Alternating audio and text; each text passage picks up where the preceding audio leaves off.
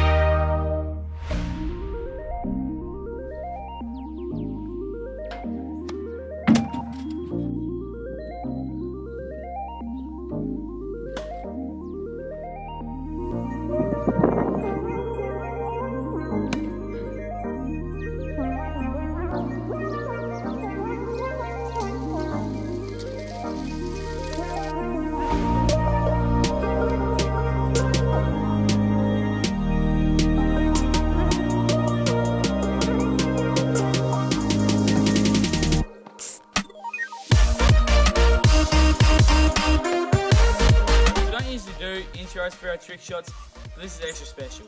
Blake and I, from here, are going to be hitting it a bowl each into that shiny glass cup up there.